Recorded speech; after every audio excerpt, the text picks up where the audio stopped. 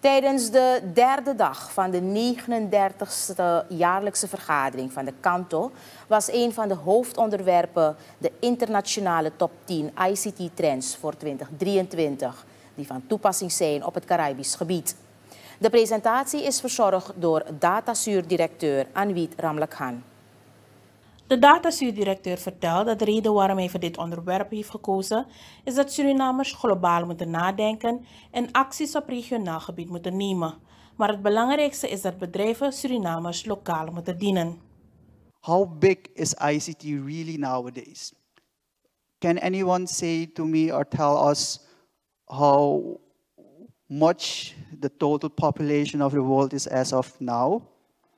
What could be a round figure? How many people live on Earth? Correct. That's 8 billion according to Worldometer. If we look at the total number of connected devices, that's 10.6 billion.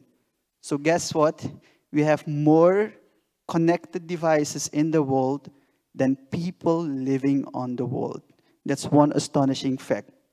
And on the other side, if we try to try to correlate this number 10.6 with unique subscribers, then we come to a number of around 5.3 billion, which is around 60% of penetration of the total population. Na een paneldiscussie is Jessica Chandnani, teamleader en strategisch planner van de Verenigde Naties, nader ingegaan op de duurzame ontwikkelingsdoelen en welke plaats deze innemen in de ICT-wereld. Chanani geeft verder aan dat binnen de 17 SDG's ICT specifiek wordt genoemd in de verschillende targets van de Canto. Such as education, gender equality. Um, like I mentioned, SDG 9 is very important to our mandate and mission, and we really want to ensure that broadband networks and connectivity are really understood as an essential part of the infrastructure for social development.